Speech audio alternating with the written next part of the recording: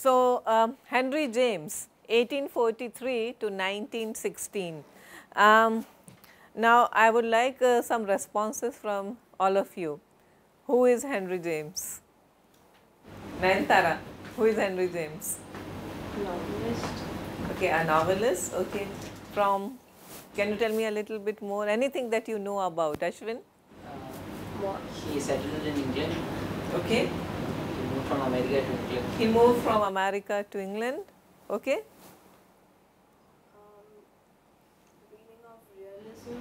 okay. The word realism is associated with Henry James. Are you aware of any of his works? What are the great works that he has done? I'm just trying to warm all of you up.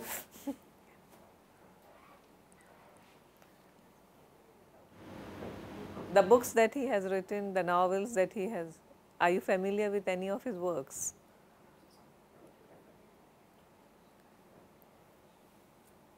The portrait of a lady. Okay. Are you aware of any uh, trends in fiction writing during this particular period? Who are the other major writers of this period? We are talking about early 20th century, late 19th century. So, yeah, yeah, you are right that this is a period uh, normally associated with uh, uh, the growth of, you know, actually mm, novel was doing extremely well during this period and uh, when we talk about uh, novel then it is basically realism that was the key feature, key trend and who were the other writers? Who were? Fitzgerald around that time. Fitzgerald was very much around that time, yeah. Joseph Conrad, yes.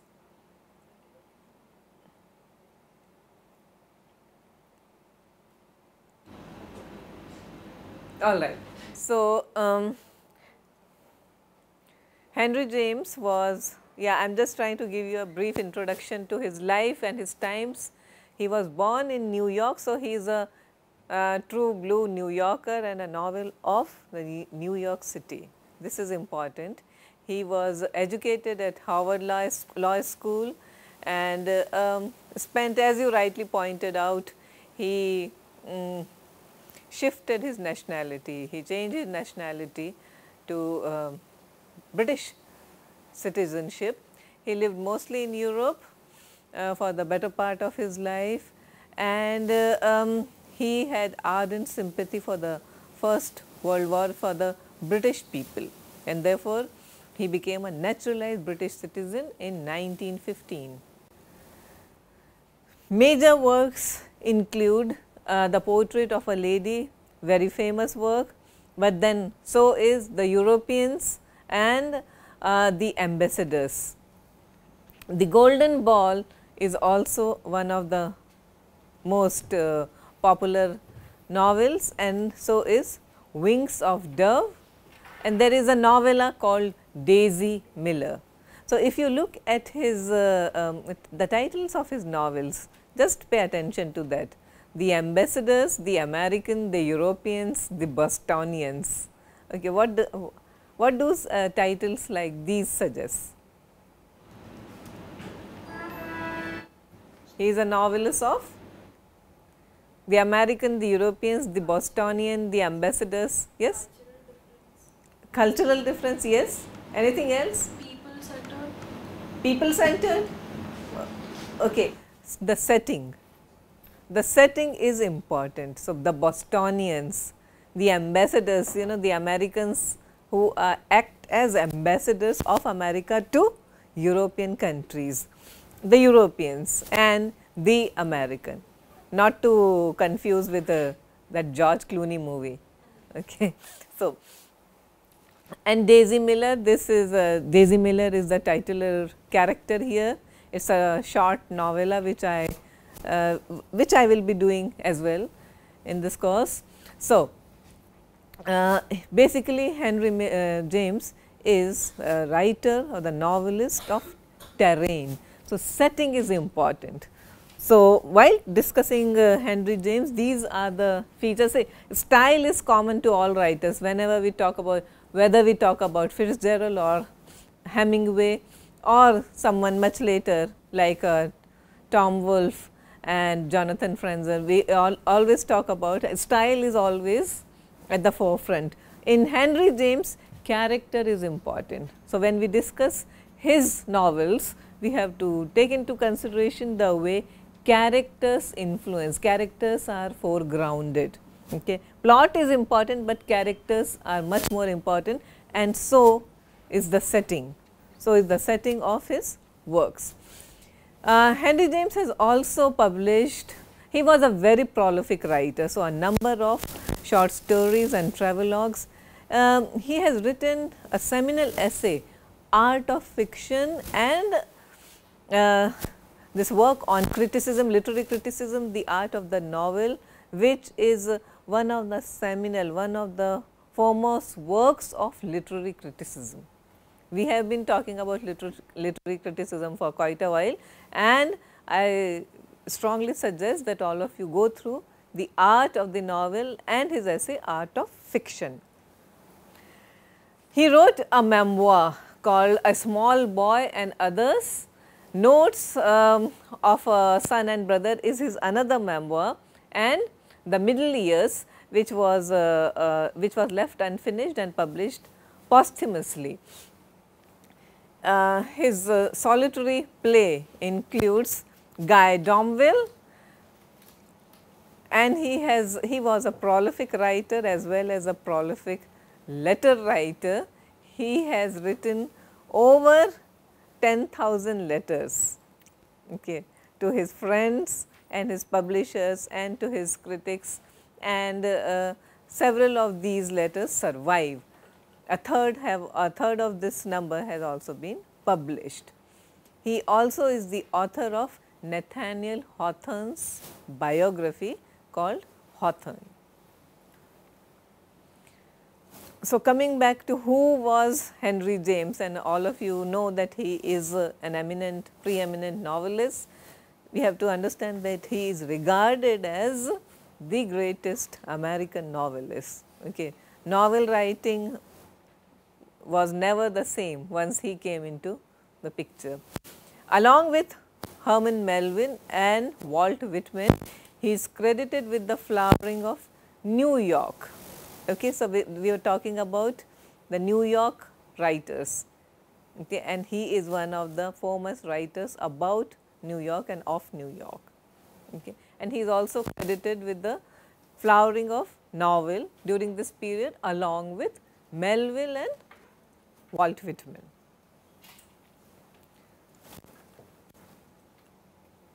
Uh, what are uh, um, uh, what is that particular movement which we generally associate Walt Whitman and Herman Melville? Who were they? Transcendentalists. Okay, are you aware of this word? Transcendentalism. Okay. And transcendentalism, what was the terrain of this movement? New England. However, Henry James is the writer of New York. So, terrain is important. I am gradually trying to draw your attention to this fact that how setting is an integral part of uh, writers.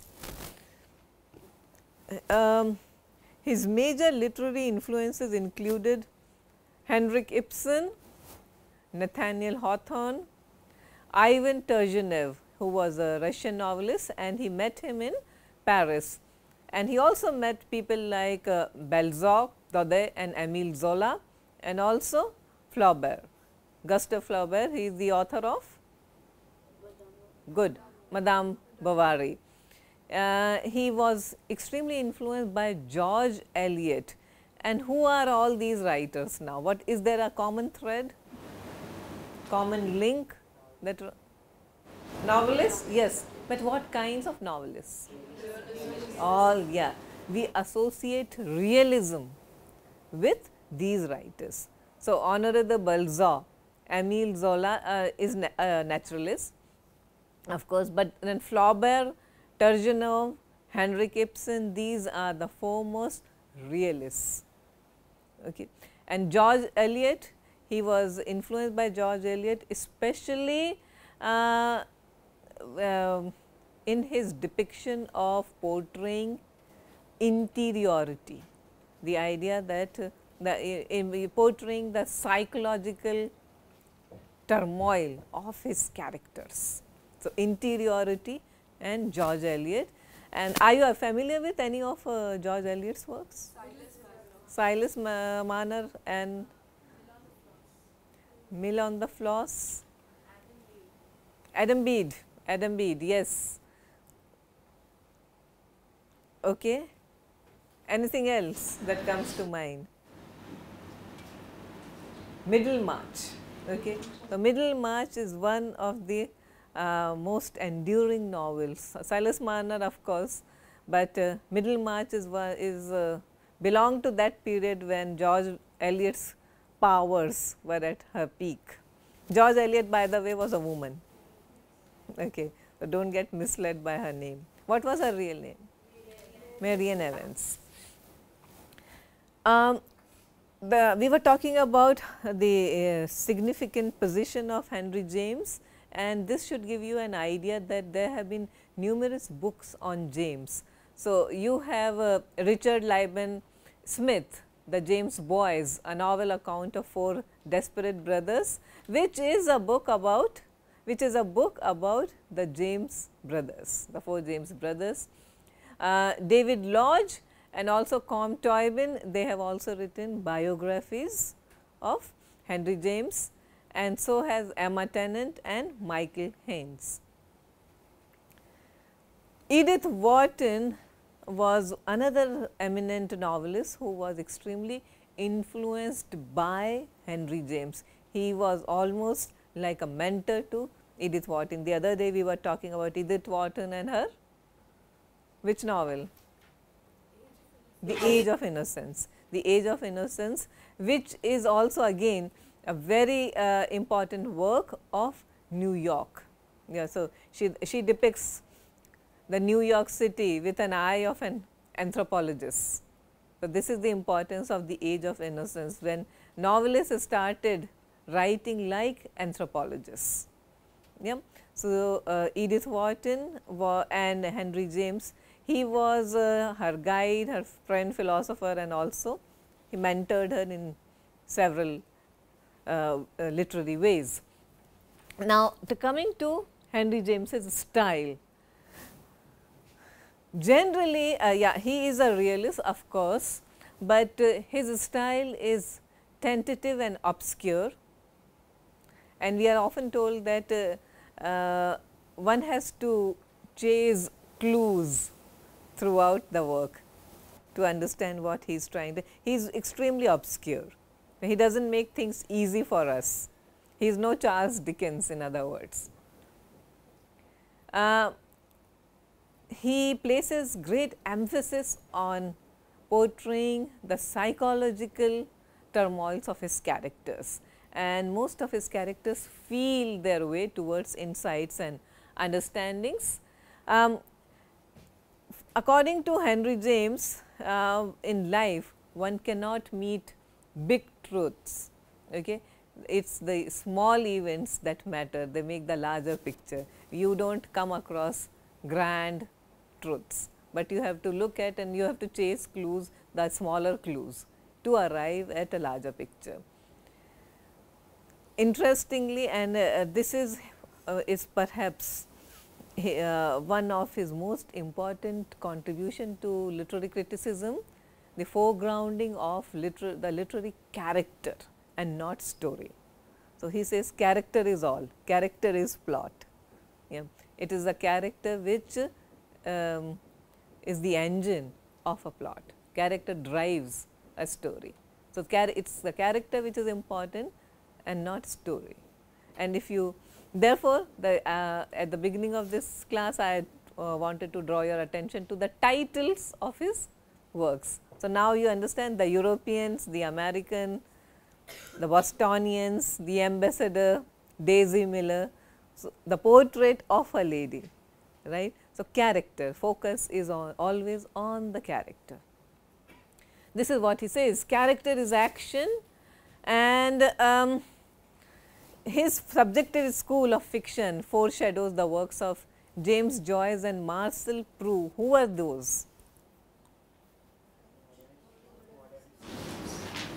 James Joyce and uh, um, Marcel Proust were modernists, but how? I mean, uh, why do you think that his works stream of consciousness? Yes.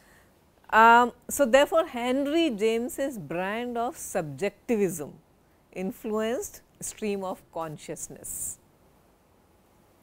okay, and that re that reached its pinnacle in the works of uh, the likes of Virginia Woolf and Joyce and Proust. Those were the modernists. So, again we are talking about the interiority of characters. It all began with George Eliot and uh, developed further with Henry James and reached the pinnacle with the modernists. Now, um, this is a, a James's setting and his terrain. Now, this is important. So, um, his characters are see he is very urbane. So, you will not find a pretty depictions of the pastoral and the idyllic and the rural in his works. So, he is a, no, uh, a novelist of the city. The city is important. So, you have New York, London, Paris and Rome and uh, cities are almost like characters, they influence the way characters behave and feel. So, when we read uh, Daisy Miller or when we read uh, the portrait of a lady, we will feel, we will realize how important cities are. London is so important and Rome is so important. Paris is a character by itself. Again, we know what is a, a novel of manners. What is a novel of manners? and Henry James is a supreme novelist of manners and social conventions. Social class, Good. this the reflection on the society and how um, etiquette. Good. So, the, the codes and conventions of a society and how they govern characters. Okay. So, people are uh, uh, people do have their free will and people have their uh, unique agencies, but how these agencies get influenced by social conventions and codes. And uh, nowhere is this idea um, brought about more strongly than in Edith Wharton's The Age of Innocence. Okay, that how our lives are governed. And we are talking about a turn of the century society, the, um, New York society and how these people were absolutely governed by codes and conventions. And uh, the manners. So, therefore, novel of manners. Any questions so far? Anything you would like to talk about or comment on? Srinidhi? Ma'am, was Henry James one of the novelists who um, was sort of with Gertrude Stein in Paris along with uh, Hemingway and the rest of them? Weren't there a bunch of writers who were in Paris around, around World War One time? Was he one of them? Not really. okay. So, um, they belong to the subsequent generation.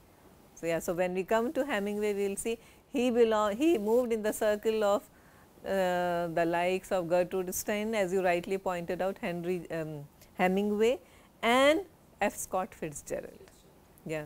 So, they were a group the kind the, uh, so therefore, um, uh, we have been talking about Hemingway okay, so, and when we come down to Hemingway we will be talking about this entire group of writers who were more like expatriates yeah Americans in exile not exactly forced, but by choice in exile in Europe. He, is he also part of the decadence movement because this uh, uh, society of man, manners But not exactly, but he, he offers a critique, he does not exactly endorse. Yeah. Uh, the uh, um, a typical aesthete or the writer of uh, writers associated with uh, the decadent movement uh, also know, known as fin de siècle end of the century remember these are the uh, the symbolists Okay. So, they actually extolled the idea of aestheticism and manners, but here he offers a critique. He remains very objective about the whole thing. Yeah, that is the difference. Um, now, uh, this is an interesting comparison bec, uh, with uh, people like Oscar Wilde and other aesthetes, because uh, Oscar Wilde too uh, portrayed the lives of um, very rich people okay. and so did Henry James. But then people like Henry James and Edith Wharton they moved beyond what uh, people like Oscar Wilde were doing. They actually talked about the claustrophobia, uh, the claustrophobic and the stifling influence of this kind of society on people. Wilde did not. Okay, Wilde actually celebrated this kind of lifestyle, the decadence, and they found beauty in excesses, right?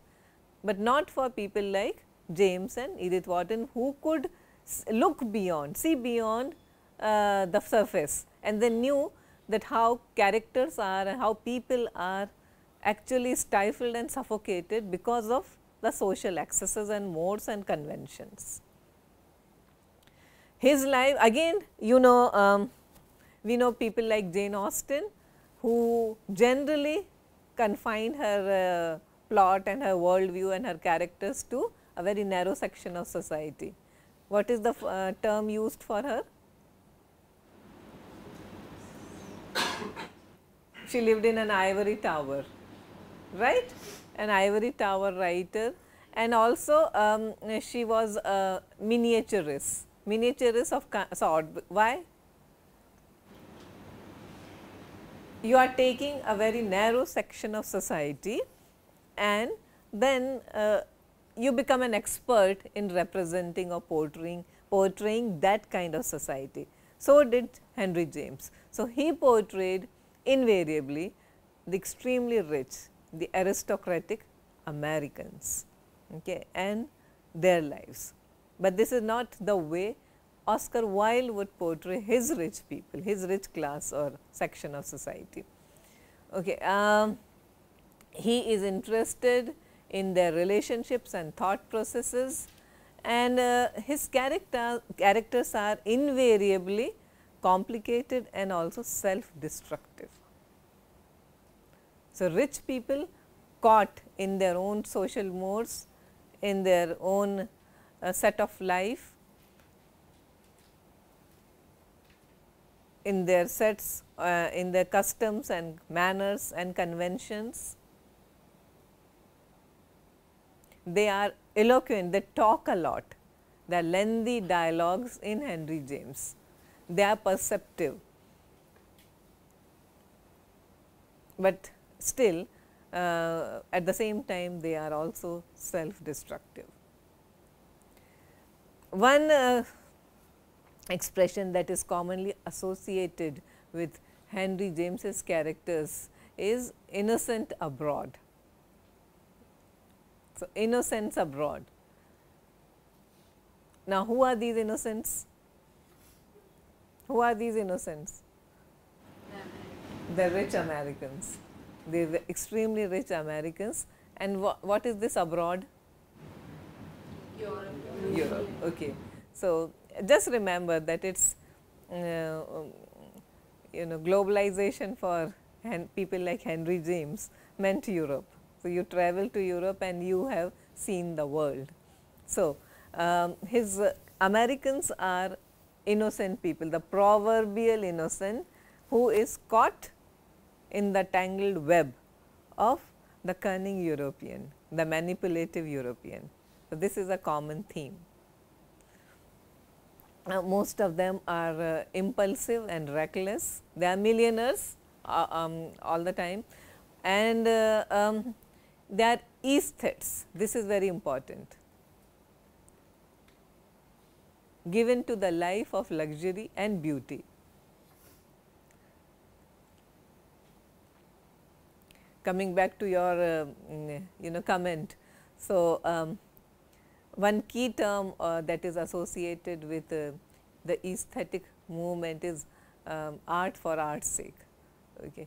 In Henry James, you would not find that. There is plenty of discussion of art, of beauty, but then you also know that beneath the surface there is lot of turmoil, there is lot of the people are weak willed, okay. people suffer, okay. although they surround themselves with beautiful things. So, it is never like uh, beauty for its own sake, there has to be something more. So, there is a strong moral tone in Henry James. So, the, uh, people and individuals and characters always have to take up moral responsibility for their actions in Henry James. So, this is the key attribute of his characters. Um, at this point, let me read out this passage from this is a short novel I had uh, Daisy Miller and uh, um, this is the point where the hero Lord Winterbourne, he first sets his eyes on the young heroine Daisy Miller. Both of them are Americans and innocents abroad and uh, they meet in Switzerland. This is how he describes, Winterbourne describes. Winterbourne presently risks an observation upon the beauty of the view, he was ceasing to be embarrassed, for he had begun to perceive that she was not in the least embarrassed uh, herself. There had not been the slightest alternation sorry alteration in her charming complexion. She was evidently neither offended nor fluttered. If she looked another way when he spoke to her, and seemed not particularly to hear him, this was simply her habit, her manner.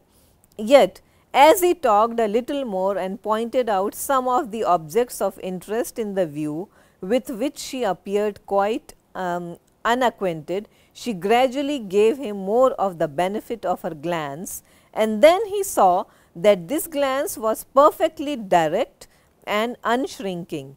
It was not however what would have been called an immodest glance, for the young girl's eyes were singularly honest and fresh. So, what do you make out of this? What do you make of Daisy Miller? She is seen through the eyes of the hero, who is an American, a good American and uh, they are all visiting Europe and they would visit Europe for um, several months at a stretch. So, they are in uh, Switzerland and here he meets Daisy Miller who is uh, visiting this country with her younger brother and an aunt and he meets her. So, what kind of a person does she appear to be in his eyes? Naive. Naive, okay. What are the words? What are the key words? Fresh, yes fresh, direct, honest. Okay. So, her glance has and there is she can look very directly at a man and we are talking about 19th century. Okay, please understand that. Okay, so, 19th century uh, glance of a woman is very different, extremely different from the way you would describe a woman looking at a man today. Okay, so, what were the women, what were women supposed to be like in those days? shy, shy and coy. Okay, but was she? No. Okay, but still that still does not make her uh, immodest or brazen in his eyes. He knows that this is the way an American girl would be. Okay. She is very direct and that directness is a part of her innocence and her honesty, which he would not say about a European girl. The European women are never, I mean they are a complete opposite, a complete antithesis of uh, an American, uh, an average American girl. So, the idea of American versus European is a recurring idea in all Henry James's works. So, America represents innocence, uh, even naivete and young it is a young country, people are innocent, they are naive. whereas Europe is old, decadent and well already you know crumbling under the pressure of its own civilization, under the pressure of its own grandeur. For Henry James, America and Americans lack complexity, which is good for him. Okay. Lacking complexity may be uh, a negative feature for many. Okay. It may uh, too naive, too simplistic, maybe not intellectually too uh, mm, too deep. Okay. But that is not the case in Henry James. They are innocent, therefore, they lack those kinds of complications and complexities which we find in Europeans. Okay. Uh, they, uh, the cultural distinction between the two continents is repeatedly brought out.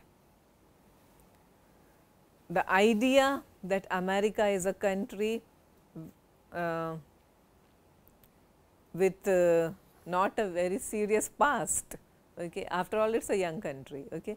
whereas Europe yeah, it is an old country, uh, sorry, an old civilization, is an old continent and it is burdened with its past.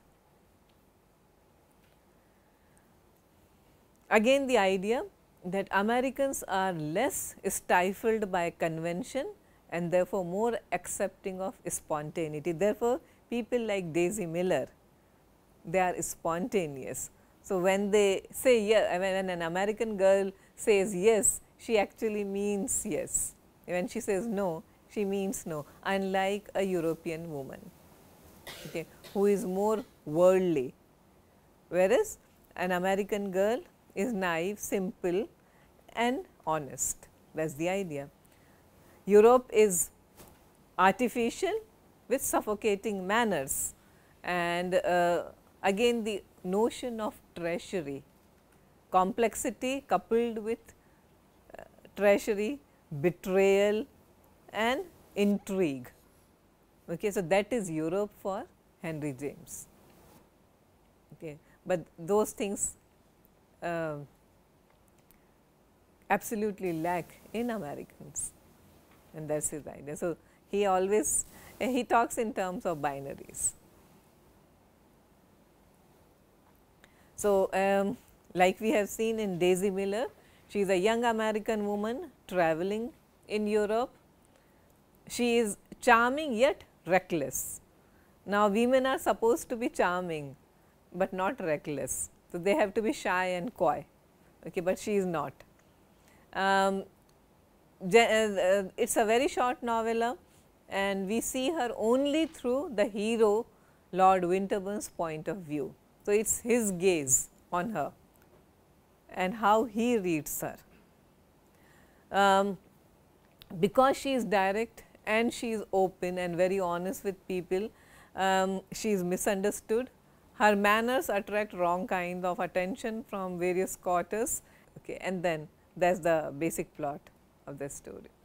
So, again the major themes in Henry James are that uh, innocence of the new world that is America is always in conflict with the corruption of the old. So, the binaries innocence and the corrupt, the innocents and the corrupt Europeans, the innocent Americans, the corrupt Europeans. As I was telling you, there is also the concept of treasury, uh, treachery and betrayal and he talks about the Judas complex. And who are the treasurers? The Europeans. They always let you down, they always stab you in the back. Um, as, uh, you can always compare Henry James with Jane Austen who also wrote about a narrow section of society, but the uh, major difference between the two writers is that James is more experimental. Okay. He was remember a literary critic as well unlike uh, Jane Austen. And also we are uh, when we talk about Henry James we have to also understand his depiction of the psychological realities of his characters, the inner turmoils of the characters. So, the subconscious and which later gave way paved way for the development of stream of consciousness.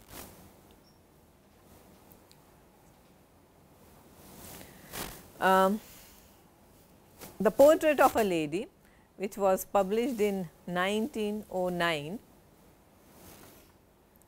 Henry James describes the novel as conception of a certain young lady affronting her destiny. Now, not he is not using the word confronting, affronting. What is affronting? Yes, Ashwin. Offending? Any other different meaning of uh, what's an affront? An outrage. An outrage. Okay. So, she is not confronting, generally we would use the word confronting her destiny, but here she is actually affronting her destiny. So, she has sort of offended her destiny. And how can a certain young lady affront her destiny, offend her destiny? By? By, by not doing what she is supposed to do or perhaps by making uh, grave errors in her decisions, by making extremely wrong choices. So, that's uh, perhaps the perhaps her destiny laid out everything for her, okay, but she turned her back to at her destiny and made all the wrong moves, all the wrong choices. The major characters in this novel, uh, that is Our Lady, the portrait, whose portrait we see is Isabel Archer. Um, Ralph Touchett, her cousin in England. So, Isabel Archer is an American. She is traveling abroad and she is in England. Uh, Mr. and Mrs. Touchett, that is Ralph Touchett's parents. We have Lord Warburton, who is an English aristocrat.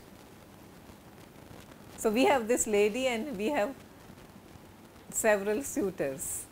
So, Lord Warburton, Ralph Touchett, Caspar Goodwood, he is Isabel's American admirer and then Gilbert Osmond, the European, he is the man who Isabel chooses over all these suitors. So, um, at uh, we have these uh, clear admirers Ralph Touchett who is her cousin, Caspar Goodwood and uh, Lord Warburton and she had a choice, but uh, who does she choose? The European Gilbert Osmond and what therefore, how she affronts her destiny. Now, um, from here um, we uh, see I we have to start reading the novel okay, because it is uh, practically impossible for me to read out the you can look at the size of the novel and it is not I am not capable of doing the entire novel in class. I would suggest that you look and you can make mark the pages and chapters. Mm. My particular edition is Oxford University Press, but it is an old edition. I do not know whether you will get it now.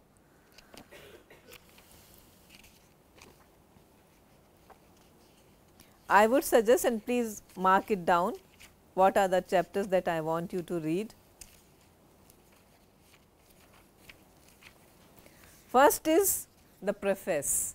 Prefaces are Henry James was a prolific writer, novelist, but he was also a prolific preface writer. So, he would give uh, prefaces to all his novels, but they are not glossaries. It is not like he is giving you a uh, you know a better understanding of his uh, this particular any particular novel, but he does not do that. Okay. What he does is talk in very general terms about the art of writing. Okay. So, he is not going to give you the key to anybody's heart here. Okay. He will talk about novel in general, the art of literary criticism and novel writing in general and you have to uh, pick these pieces and uh, all these jigsaw puzzles and put the pieces together. Okay. So, as I said in the beginning he is very obscure, even in his prefaces he is obscure. Okay. He will give you plenty of clues which he expects you to find answer to. So, preface is important and from this I would suggest that uh, when we meet for our next class, you read at least uh, the first 100 or so pages.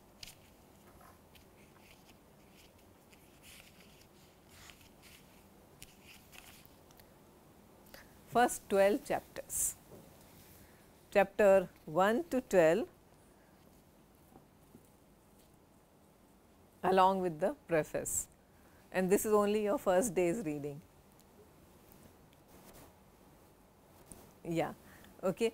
Um, so, as we were talking about the art of the novel, which is a collection of these prefaces, where he talks about how a novel, what is a novel all about, but that still does not mean that he gives interpretations of his own novels. It is about the art and that is about it.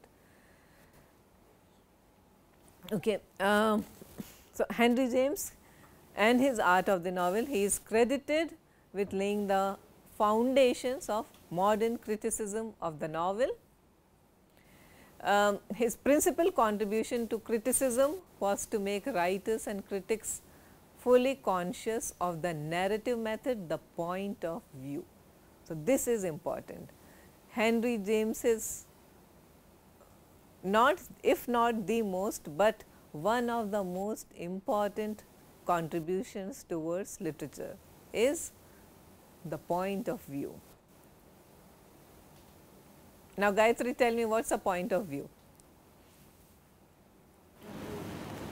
Uh, we have the perspective through which the writer, um, perspective through which the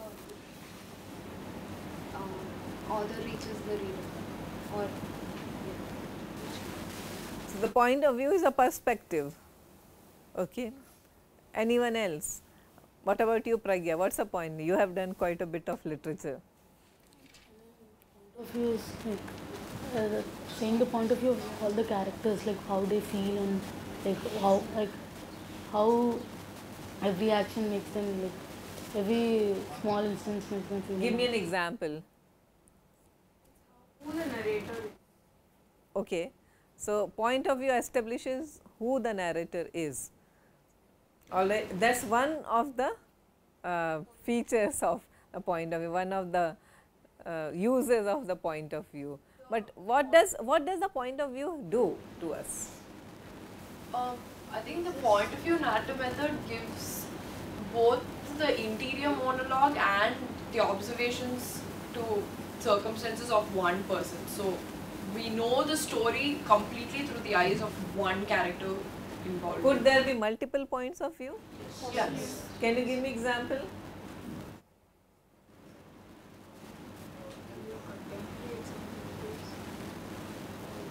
You are help Okay.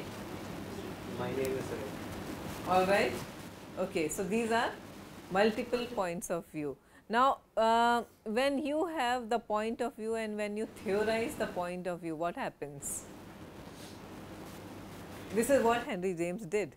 He theorized the point of view. Before that, there was always this particular omniscient point of view, right. Think um, Victorian novel okay, and you have omniscient point of view. But in Henry James, we started seeing multiple points of view. That is his biggest contribution. He, he was one of the foremost writers because he was also a literary critic. He could theorize about it, he could think about it that there has to be um, you know a novelist started starts giving his own perspective about the characters and the plot, but there has to be something more to it otherwise it becomes a very uh, yeah yeah you you know the the entire idea of truth okay uh, reliability okay so now when we talk about the postmodern literature especially talks about the concept of the unreliable narrator okay so the entire concept of reliability is suspect when you have only one singular point of view. Remember Henry James is the one who gave us his short story, the brilliant piece Turn of the Screw. Are you familiar with it? Turn, the turn of the screw, please note it down. We will be talking about point of view in uh, using the turn of the screw as an example. So, for James uh, through this point of view, this is a device used to maintain control through the novelists generally use point of view to control uh, the third person narrative. So, through the third person narrative the omniscient point of view, but um, he also renders the experience through the consciousness of the created character. So, this is where when you are talking about interior monologue. So, it is not just the third person point of view, generally it is the narrator's point of view and we are supposed to take it as the ultimate definitive truth, right. Okay. But when we start listening to other voices, especially the interior monologue of a character, what does that do? It is a modernist feature, yes, but what does that do? It, it gives us another point of view. Yeah. So, this is what the narrator thinks, this is what the character herself or himself thinks and this is how the other characters see this character. So, diverse points of view. And the idea was to maintain, uh, to create a sort of flexibility rather than maintain one single unified control over the characters and their thought process. The idea was to give some kind of flexibility to the character, because this character is seen through different perspectives, the several points of view. So does this also include like when the uh, characters, the narrator itself isn't reliable, like, uh, like um, Therefore, I said uh, one of the uh, uh, earliest examples of the unreliable character narrator is found in Henry James, The Turn of the Screw. So, it is important that we read. Okay. For this course, you have to read a lot, like it or not. If you if you are the reading kind, then this is very good. If you are not the reading kind, then we are in trouble. Uh, so, uh, talking about modernism, I am sure most of you are familiar with the key features of modernism. Um, modernism is uh, preoccupied with the complexity of its form. So, we have this word the introverted novel. Modernism is also concerned with representation of inner consciousness and also concerned with the sense of the nihilistic disorder behind the apparent order and stability of life and reality.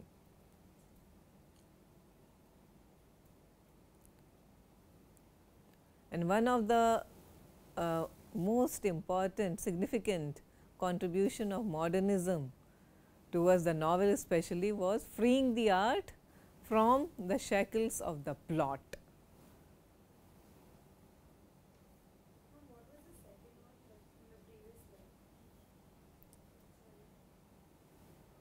inner consciousness. We are uh, gradually moving towards a stream of consciousness novel, the modernism and but of course, Henry James is not uh, the first American novelist. Who was one of, who was the first American novelist? Yes? Oh, Mark Twain, Mm, but uh, even before Mark Twain things were happening.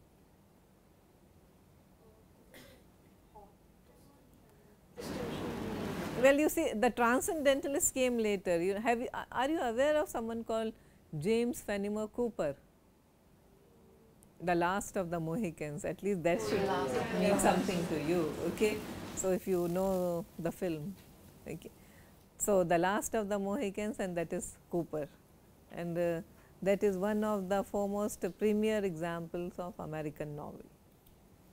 Otherwise, we did not have the concept of uh, uh, American novel, we had English novels, we had European novels, we had people like um, Miguel de Cervantes who wrote Don Quixote. Yeah. So, we had a novel in various parts of the world, but in America Fenimore Cooper gave it a sustained form that novel the way novels are done. Okay. So, um, going to James and the introverted novel. So, he calls himself and this is important the chronicler of his characters lives. What does a chronicler do? He records. So, he observes, he is very objective about the lives of his characters. Okay. So, it is not going to be just a sentimental depiction, no emotional involvement with his characters. Rather, he just gives you a dispassionate record of his characters' lives.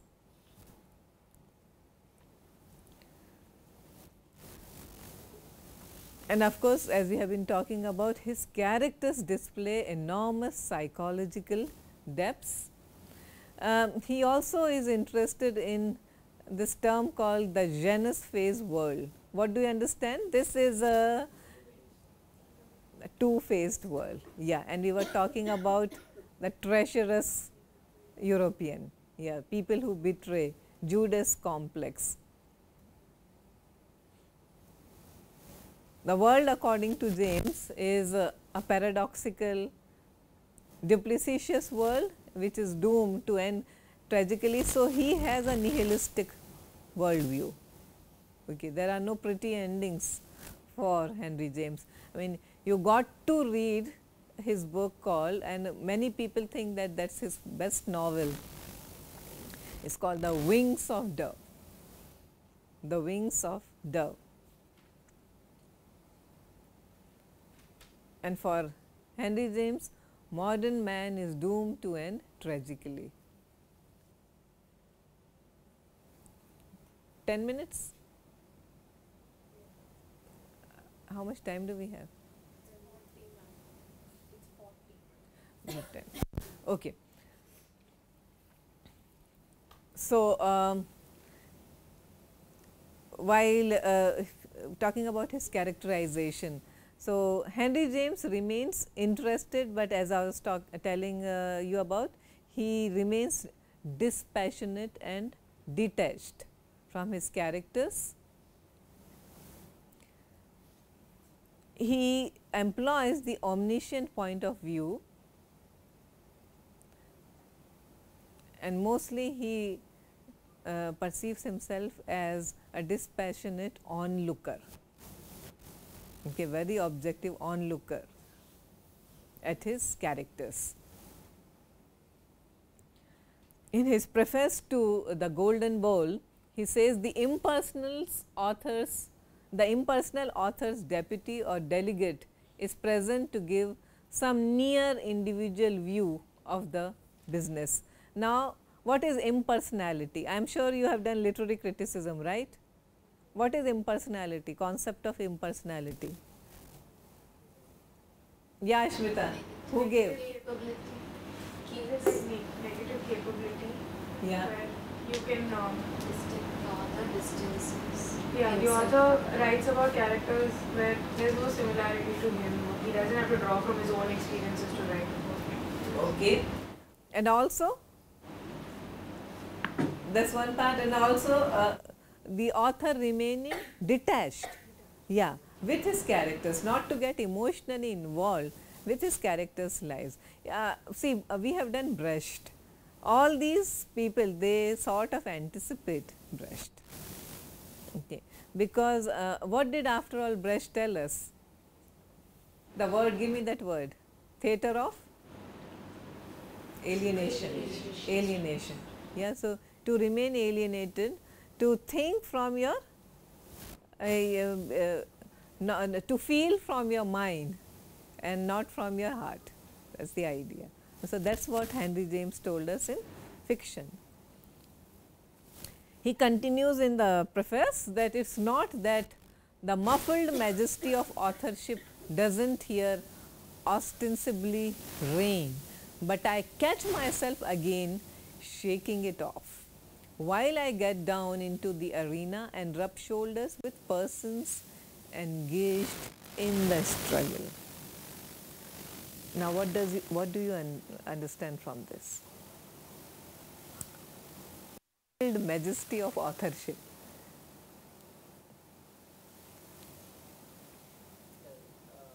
tendency of the au- author to take control Exactly. is being suppressed Yeah, consciously. he has to struggle hard, and that's what he suggests.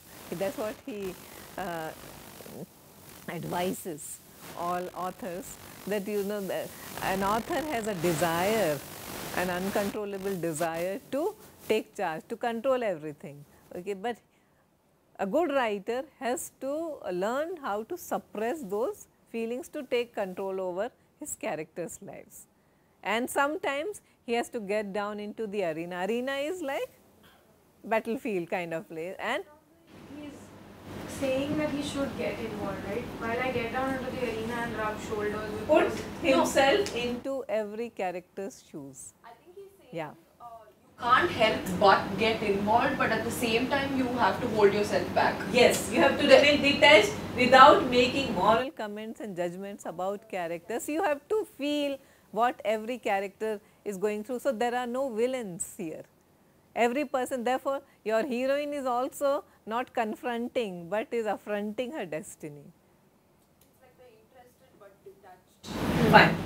Yes. Then he is also interested in interior monologue. Um, as you know, this is a device where much of the action takes place inside the minds of the characters. And Henry James is again credited um, uh, of being the first novelist to use such intense examination of the psychological uh, workings, happenings of his characters, their, their feelings, their motivations, why they behave. So, it is not society that compels people to become what they are, it is also their own workings, okay, making them into what they become. Um, so, this is the this is his legacy. He influenced people like Henry James, but uh, sorry, uh, James Joyce, particularly in his Ulysses, which I am very sure. Have you done Ulysses? Yeah.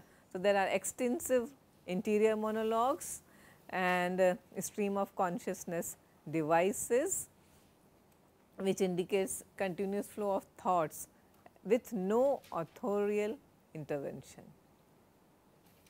Okay. So, the author sometimes he steps in, but many a time he steps back.